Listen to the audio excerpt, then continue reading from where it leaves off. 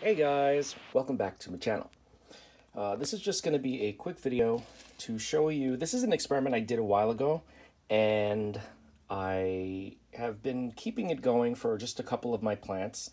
Um, as you probably know if you watch any of my other videos, I have an issue with root rot when using soil, probably because of my grow space, um, air circulation, all that good stuff. Even though I have a fan going, it's still not the same. Anyway, so for some of my succulents that I don't have in Kokedama, I grow them bare rooted.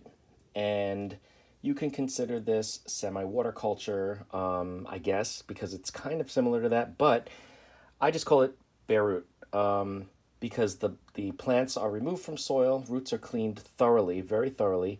Sometimes they have to be cut back because uh, a lot of times roots that succulents have been uh, growing in soil, they are not healthy, um, sometimes they're already starting to die back and, and rot. So I clean them really well. And then I put them in a glass or a vase or a cup or whatever it is that they're growing in. And then I only water the roots. I, I soak the roots once a week or once every two weeks. Not very often. Sometimes I forget um, because they're succulents, they forgive you. But they are thriving and I don't have any root rot issues, obviously. The roots continue to grow, the leaves continue to grow, and um, it's just really interesting. And it's not something I ever see done, but I've had some success with it. So, of course, my focus is coleus and violets and other things like that, semi-hydroponics, water culture. But for uh, some of my succulents, I like to use the bare root method. So here's some examples I wanted to show you. This is uh, one of my aloes. It's a variegated aloe, very pretty. I had cleaned the roots off a while back and this one needs to be watered. As you can see, those roots are very dry, but the roots grow almost like orchid roots. They look like orchid roots. You can see all the new root growth. Um, the smaller ones, the lighter ones, they're all very, very healthy and supple. And they don't rely on the water too much, but when they do get um, soaked, they absorb the water. It goes into the stem. The leaves are nice and um, supple. There's a little curvature, which is fine. I don't want them to be too weak and, and waterlogged. But um, you can see from the root growth here, you can see those green tips, just like orchids. Very interesting, right? Anyway, this plant has been bare rooted for quite some time, maybe a year. I'm not even sure exactly how long it's been, but um, but doing really well. And you can supplement with some nutrient um, I like to use, since there's no soil involved, I like to use the hydroponic nutrients. So um, could be liquid earth, maxi-grow, whatever you want to use for growth, not for bloom. Um, yeah, but they do really well. Here's a different aloe. This is another one. This is a climbing aloe. This one I just watered.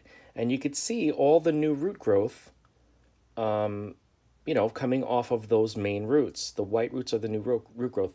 These get dry and just like the other aloe, they stay firm. They don't um, desiccate. They don't shrivel up. And uh, it's doing really well. It's even growing some new leaves, as you can see. Uh, and last but not least, we have down here my Haworthia. Now, this Haworthia has been bare-rooted for quite some time. I don't even remember when I put this uh, in this bowl in bare root. It's been probably over a year, maybe a year and a half. I'm not even sure, but it was in my other grow space. It's now here with me. And you can see from the roots just how crazy and tangled they get without any soil at all. Look at that. Very, very cool. This one I forget about way too often because it's not in this main grow space. It's upstairs, uh, different room, a different part of the house. You can see some of the leaves are a little dry. Like here, I got to clean it up a little bit. But look at how many pups this plant has put out it's just chock full of pups. And um, yeah, and you can see the roots. They're just doing extremely well. Uh, I'm going to soak this one right after this video. And then it's like set and forget. Then I won't water it um, for like a week or two. Probably two weeks. This guy doesn't really need a lot of water. But, um, but yeah, when I soak, I fill the bowl with water. Just enough to cover all the roots and I let it sit there maybe about an hour, and that's it. I dump the water out, And the roots stay damp because they're still wet from the water, and I leave it like that.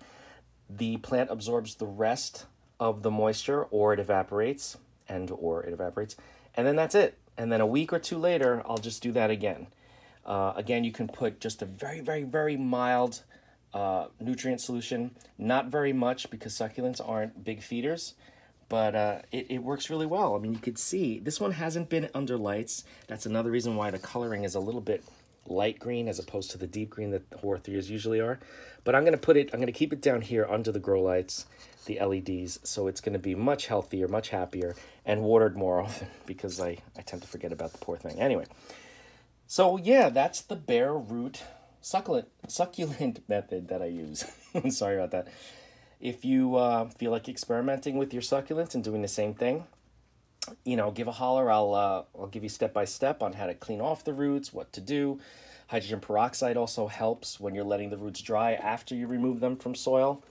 But for me, these plants are doing great. They're doing great, and you can see like all those bumps on the middle of the. I, I can't use my hand, but on the middle of the uh, the base of the stem, like new roots are starting to come out. So it's really kind of cool, and it looks really nice in this glass that I have it in. You can see, and it's very happy. So something uh, I've been experimenting with for going on a year, year and a half, and I just want to share with you guys. So if you have any questions on uh, this little experiment, just leave a, a message in the comment section below the video and share with your friends. If you haven't subscribed, please consider it because of this fun stuff like you just saw. And click the little bell icon if you want to be notified when I upload, blah, blah, blah, like everybody says. And I will see you in the next video.